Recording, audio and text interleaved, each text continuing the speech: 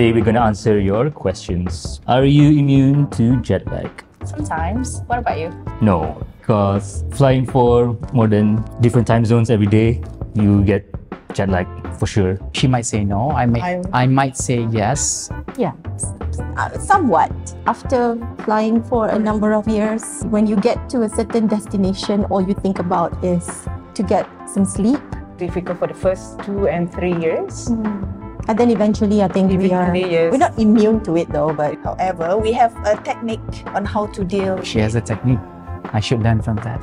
So that's why we need to keep fit and a lot of exercise. Different people have a different approach on how to deal with jet lag. So mine would be I'll always follow my Brunei time, my hometown. Do you have to be really fluent in English to be cabin crew? Um, yes. And Malay as well, but it's a bonus if you have other language as well. we know English is not our mother Mother tongue. So it is uh, not like mesti Zua be so Yes. fluent sampai perfect your English atau. However, the way you communicate is very important to get the message across. You just have to have good communication skills. So with your colleagues, with your friends, and uh, with our guests as well. Bearing in mind that our cabin crew has to serve uh, passengers from International. international travelers. Let's say you're doing Hong Kong flight or any other Chinese flight, we also have to learn uh, some simple word when we serve. Apa perbezaan warna-warna pakaian bagi cabin crew? This is what we're wearing. This is coral. There are our junior or premium crew, we call them. Yeah. So apa yang kami pakai masa ni, it's green. Green. So basically green is uh, leading. Uh, we are in charge of the whole cabin in economy. Economy. And if we see the one in blue, that means they are the cabin services officer. But to put it in short, it's the uh, CSO. Blue color ni ia in charge overall of the aircraft. Sometimes kalau uh, blue not around, so uh, green color can take over the uh, duty. Sometimes you can see brown color. For me, I'm a cabin crew instructor wearing this brown mocha color. Ya, mocha color tu if you are lucky to see the orang sejalah. Sebabnya kalau ada training ataupun ada check flight, they will be on board. How long does it take you, steward, to get ready before work?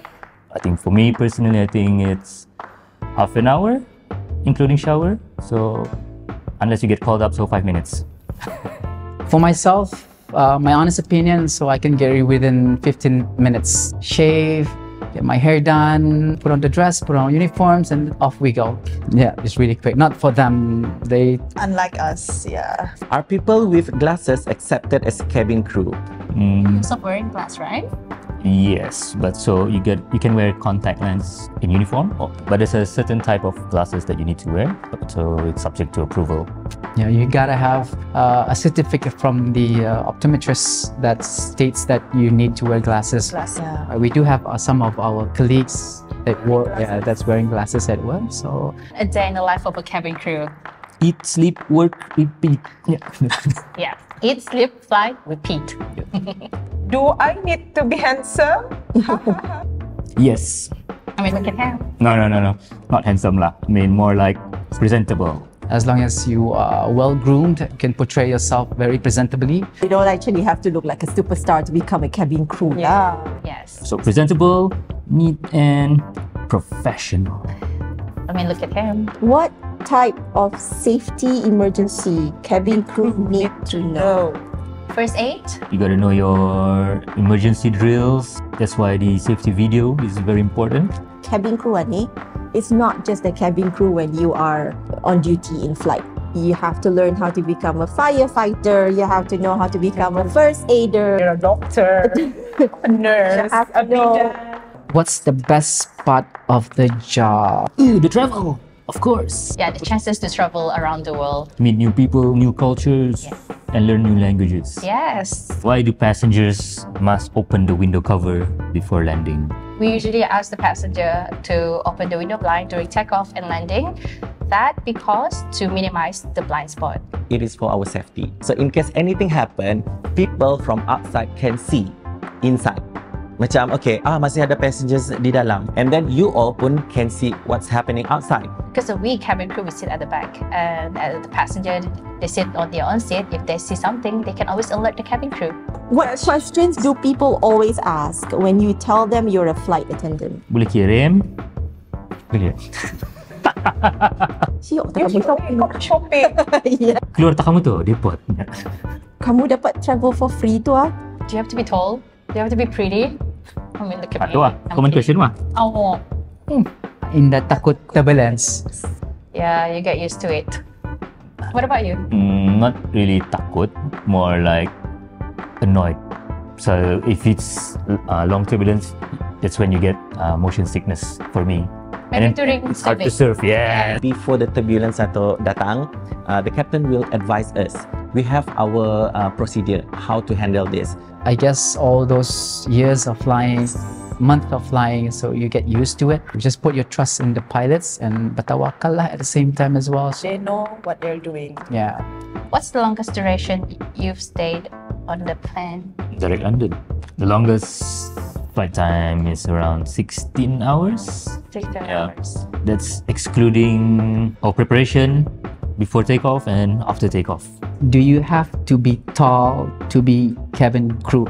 My honest opinion, yes, you have to be at a certain level of height. The requirement for being tall as a cabin crew, it's because that you need to reach out for the compartments, you need to uh, grab the bags and put it up, and as well as for checking the cabins as well for takeoff and landing, and as well as for pre-disembarkation. It's to check the cabin whether all the things have been removed from the aircraft. So yes, you need to be tall. Your favorite layover countries? Australia. What about you? All of them. yes. I would say currently it's Japan. London. I love shopping there. I think as for me, it would be Melbourne. Any destination in Australia is a favorite of mine. I prefer Melbourne. You can see the difference macam uh, in terms of uh, keramaian atau macam di London is very very packed ramai orang apa. In Melbourne macam uh, tenang sedikit. What's your favorite airport? I love Dubai, so I love the Mm, Dubai airport. Dubai airport is so huge. There's a lot of sightseeing as well. Well, it's not every day that you're gonna see a palm tree inside an airport. Singapore. Why Singapore? It's because it's like a shopping mall for me.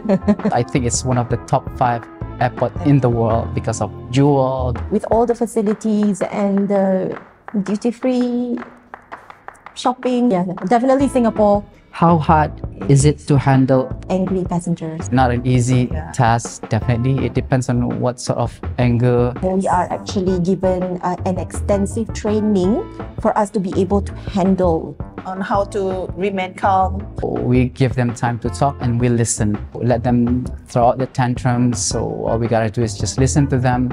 So if this angry uh, passenger tends to get abusive or tend to get unruly to a danger with the surroundings, the aircraft, crew, and other passengers as well. So we have our methods. Will your passport be stamped every time they land in a country, including layover? Uh, I think kalau sekiranya sampai ke tempat itu semua stamp, stamp, stamp, habis itu pasport kami. Ah, habis penuh. The answer will be no. Kalau layover, we enter the country, we got a paperwork, uh, we call it GD. What we call a general declaration. Uh, there's a piece of paper, semua nama, semua details and passport number ada di dalam itu. So basically, that's our passport upon arrival. We, we need to show our passport tapi indah kena stamp. What will crew normally do during your free time on station? sleep, Sleep, eat, eat, shopping, shopping, and repeat. repeat. yeah, on a serious note, you have to have, have a proper uh, sleep before you report for duty. Yeah. Yeah, you don't want to work uh, feeling tired. We have our uh, rest hour requirements that we have to fulfill before each flight for us to be able to perform well. Best seat rows. If you're the type that wants to have both choices of meals ready for you, so you pick up the first row and the last row. If a person, when they travel at all, always feeling nauseous, always hates traveling because they know that they're gonna be uh, air sick, so the best seat row is in the middle, the middle of the cabin. So it's a bit more stable. It doesn't go wobbly, going up and down like that. What does it feel to work during it? It's actually uh, rewarding because you can bring other passenger, other people back to their country. Overwhelming. Because everybody's praying in the morning. You just cross the road, the masjid is there. So work is work. So you have to carry on doing it. So the best part of this, like you know, Israelis have mentioned, the best part of bringing passengers back home to Brunei or going to their respective places Celebrate from our own personal sadness, I thought it brings joy to others. to others. So- exactly. Macam after second year, third year, biasa tiap. When you feel like your colleague atau family and everyone bawa makanan, bawa kek apa, uh, hari raya we celebrate di luar. Now there's no problem for us. It's biasa, kebiasaan sudah. Makeup tricks that last the whole flight. You guys know? There's a trick. Okay, okay. There's a trick. There's a trick.